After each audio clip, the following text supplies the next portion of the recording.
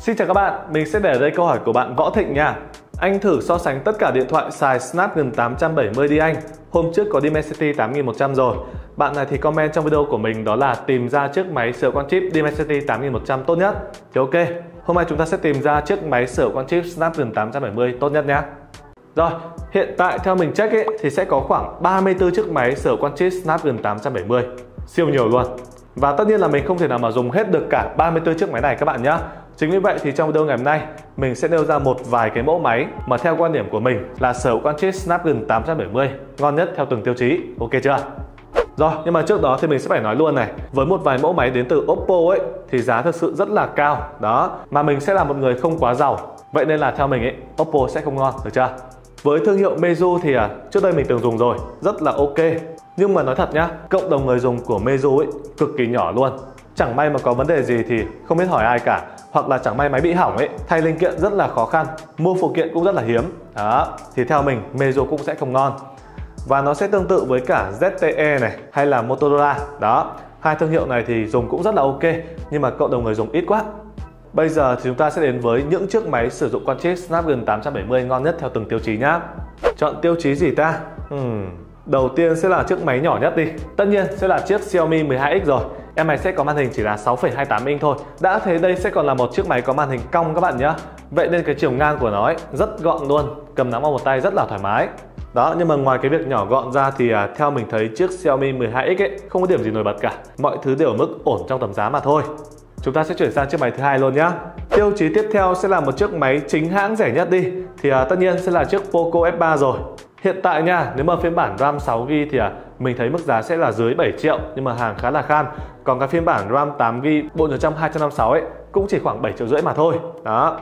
Với việc là một chiếc máy Poco chính hãng thì à, chúng ta sẽ có sẵn tiếng Việt này, có sẵn xe Play, mua về chỉ việc mở ra và dùng mà thôi cái vụ trễ thông báo ấy thì à, mình thấy vẫn có nhưng mà rất ít nha nó sẽ đỡ hơn rất nhiều so với cả phiên bản ROM Trung Quốc Ngoài ra thì chiếc Poco F3 theo mình thấy là một chiếc máy rất là hiếm hoi của nhà Xiaomi bị bóp hiệu năng rất là nhẹ tay thôi. Có bị bóp nhưng mà không nhiều.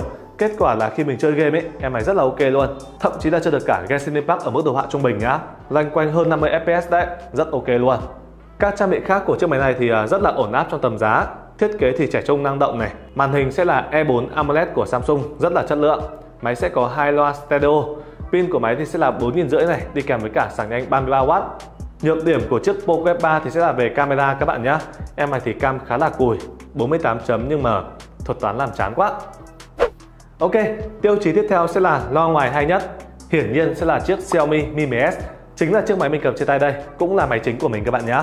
Mình chưa thể tìm ra chiếc máy nào mà có loa hay hơn chiếc Mi 10s này các bạn ạ kể cả là Mi 11 Ultra này, Mi 12 Ultra các thứ, iPhone 13 Pro Max thua hết Mi 10s này. Đây sẽ là quan điểm của mình nhá. Cái âm bass trên loa ngoài của chiếc Mi 10s thực sự rất là ok luôn. Nhất là khi các bạn nghe ở mức âm lượng tầm 50 60 ấy, siêu hay luôn ạ. Ngoài ra thì những trang bị khác của chiếc Mi 10s cũng rất là ổn áp. Đó chính là lý do mà khiến cho mình chưa thay đổi máy nhá. Mình dùng em Mi 10s này được khoảng hơn một năm rồi. Đầu tiên sẽ là về pin này, em này pin khá trâu đấy. Dung lượng 4700 chỉ phải gánh một cái màn hình 90Hz. Vậy nên với chiếc Mi MS mình thường xuyên on screen được khoảng từ 7 tới 8 tiếng. Đó, rất là ok, dùng thoải mái một ngày. Cái công suất sạc có dây của em này thì sẽ chỉ là 33W thôi nhưng mà sạc không dây sẽ là 30W luôn nha. Mình là một người cực kỳ thích dùng sạc không dây. Vậy nên với chiếc Mi MS mình thấy ok. Snapdragon 870 trên chiếc máy này thì à, hiệu năng bình thường thôi nhưng mà nhiệt độ tối ưu rất là ok nhá. Mình chưa bao giờ gặp tình trạng là chiếc Mi MS này bị quá nóng cả, kể cả là khi mình dùng 4G nha. Thực sự là nhiệt độ rất là ổn áp luôn đấy. Về camera thì chiếc Mi MS có phần cứng rất là khủng. Chúng ta sẽ có cam chính là 108 chấm này. Kích thước cảm biến ảnh siêu to nha. 1 trên 1,33 inch. Đó, nó sẽ to ngang với cả chiếc Galaxy Note 20 Ultra. Khi mà các bạn chụp xóa phông tự nhiên ấy, vô cùng ảo diệu luôn. Ảnh rất có chiều sâu nhá. Cảm giác như kiểu chụp bằng máy cơ vậy. Nhưng mà tất nhiên, thuật toán thì làm không quá tốt nên là màu sắc ảnh chụp ra thì à, đôi khi nó sẽ bị sai quá nhiều và tổng thể ảnh sẽ hơi tối một chút. À còn một điểm nữa, em này thì uh, chụp ảnh vào ban đêm khá là kém nhá Tại vì khoản lấy nét khi mà thiếu sáng ấy, tệ thôi rồi luôn Nhược điểm của chiếc Xiaomi Mi 10s thì uh, theo mình sẽ là về khoản trọng lượng với cả cảm giác cầm nắm. Em này thực sự là hơi dày với cả hơi nặng nhá. Bạn nào mà tay nhỏ này hoặc là mấy bạn nữ ấy, cầm sẽ hơi vắt đấy. Ban đêm lướt các thứ mà rơi vào mặt thì thôi rồi luôn rồi, tiếp theo sẽ là tiêu chí chiếc máy sở hữu con chip Snapdragon 870 rẻ nhất nha Thì à, sẽ là chiếc Realme Q5 Pro Công nhận em này rẻ thật mà trang bị rất là ok nha Ngoài con chip Snapdragon 870 ra thì à, chúng ta sẽ có màn hình là E4 AMOLED của Samsung này, rất xuất sắc trong tầm giá. Máy có hai loa stereo, pin thì sẽ là 5000 cho bò này, đi kèm với cả sạc nhanh 80W, một sạc của Rumi rất chất lượng nha. Để mà sạc đầy chiếc Q5 Pro ấy, các bạn sẽ chỉ mất khoảng 30 phút thôi, rất là ok. Camera của máy cũng rất là ổn áp luôn, cam chính sẽ là 64 chấm này, phần cứng ok, thuật toán làm tốt. Vậy nên ảnh chụp ra trên chiếc Realme Q5 Pro ấy rất là ưng mắt, sáng sủa, tươi tắn. Về mặt hiệu năng của con chip Snapdragon 870 thì các bạn yên tâm, đây là một chiếc máy Realme vậy nên chơi game rất là ngon. Với chiếc Q5 Pro thì à, các bạn có thể chơi mọi tựa game trên thị trường, kể cả là Genshin Impact, thậm chí là chơi max setting vẫn được. Tất nhiên là có bị tụt giảm FPS, chơi không quá phê nhưng mà nó vẫn chơi được đúng không nào? Để mà chơi tốt thì à, các bạn sẽ hạ mức đồ họa xuống một chút, chơi trung bình hoặc là cực thấp thôi. Còn lại các tựa game khác như kiểu là PUBG này, Free Fire tốc chiến liên quân ấy, mỗi cứ max setting thoải mái nhá. Rồi, nhưng mà nhược điểm của chiếc Realme Q5 Pro thì à, các bạn cũng biết rồi. Với Realme chúng ta sẽ bị đa nhiệm kém này, cộng với cả trễ thông báo và cái phiên bản ROM quốc tế của chiếc Realme Q5 Pro ấy theo mình thấy là cũng không quá ngon nhá. Khi mà mình áp thử sang thì à, đa nhiệm vẫn kém này, hiệu năng bị kém đi một chút và trễ thông báo thì à, không được cải thiện quá nhiều. Chính vì vậy nó sẽ dẫn tới tiêu chí tiếp theo của mình đó là một chiếc máy dùng sướng nhất trên mức giá rẻ nhất thì sẽ là chiếc Realme GT Neo 2. Em này đắt hơn chiếc Realme Q5 Pro một chút thôi các trang bị khác thì cũng gần như giống hệt, sẽ chỉ có hai điểm khác biệt. Thứ nhất, mặt lưng của chiếc Neo 2 thì sẽ là kính nha, còn Q5 Pro sẽ chỉ là nhựa mà thôi. Với cái mặt lưng kính ấy thì chiếc GT Neo 2 sẽ cao cấp hơn một chút này, cộng với cả tản nhiệt tốt hơn.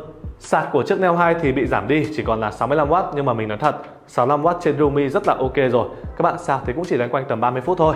Nhưng mà điểm an toàn nhất của chiếc Neo 2 ấy là về khoản phần mềm bạn nhá. Em này có cái phiên bản ROM Thái Lan ấy, cực kỳ chất luôn. Khi mà áp sang mình test rồi, hiệu năng tốt, đa nhiệm ok, khoảng 6 7 cái app cơ bản cộng với cả một hai game mỗi cái vụ trễ thông báo ấy được khắc phục rất là ổn áp luôn nha gần như là không biết thi thoảng là mới bị thôi đó nói chung là theo mình thấy với chiếc GT Neo 2 thì à, đắt hơn Q5 Pro một tí thôi nhưng mà dùng sẽ sướng hơn rất nhiều. Rồi đến với tiêu chí cuối cùng sẽ là chiến game mạnh nhất thì tất nhiên sẽ là dòng Black Shark rồi.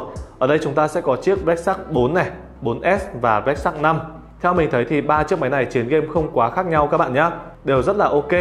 Chiếc shark 4S thì à, hơn shark 4 ở khoản đó là loa ngoài của 4S hay hơn rất nhiều luôn. Với chiếc shark 5 thì các bạn sẽ có một cái thiết kế trending hơn này, đẹp hơn, cái cụm cam siêu to khổng lồ. Ngoài ra thì máy có cả đèn led nữa, rất là chất. Pin cũng trâu hơn một chút, 4650 so với cả 4500. Nhưng mà mình không hiểu vì sao mà với chiếc sắc 5 thì à, em nó sẽ bị cắt giảm đi cái phần rắc tai nghe 3,5mm. Đó, một chiếc gaming phone mà bị cắt giảm đi rắc tai nghe. Rồi, nhưng mà không thể phủ nhận Snapdragon 870 trên cả ba chiếc máy này thì à, rất mạnh các bạn nhé chiến ôn game luôn có chăng thì với tựa game Genshin Impact chơi max setting ấy thì bắt đầu bị tụt giảm FPS mà thôi chơi không quá phê nhưng mà vẫn chơi được nha Ngoài ra thì với dòng Black Shark các bạn sẽ có rất nhiều trang bị cũng như phần mềm hỗ trợ cho việc chơi game.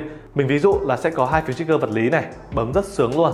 Màn hình của máy sẽ là 144Hz, tần số quét sẽ là 720Hz, siêu mượt. Loa ngoài của máy thì à, chiếc sắc 4 kém nhất nhưng mà vẫn rất hay nhá. Rồi thì các bạn sẽ có sắc Space nữa, rất nhiều tính năng để mà hỗ trợ cho việc các bạn chơi game. Nhược điểm của ba chiếc máy này thì theo mình thấy nếu mà các bạn mua hàng sách tay ấy thì à, sẽ không có tiếng Việt này và cái việc up sang phiên bản ROM quốc tế thì à, khá là khó khăn nha. Ok, vừa xong sẽ là top những chiếc smartphone sở quan chip Snapdragon 870 ngon nhất theo từng tiêu chí. Hy vọng là sẽ giúp ích được cho bạn Võ Thịnh cũng như các bạn xem kênh YouTube của Mobile City. Rồi, vậy thì các bạn thấy sao về video này? Các bạn có đồng ý với quan điểm của mình hay không? Hãy để lại comment phía bên dưới nhé.